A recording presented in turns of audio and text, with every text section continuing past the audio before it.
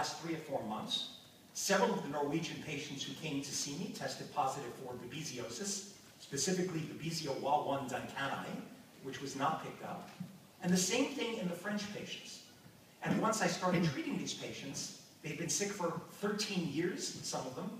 Within one month, these patients were significantly better.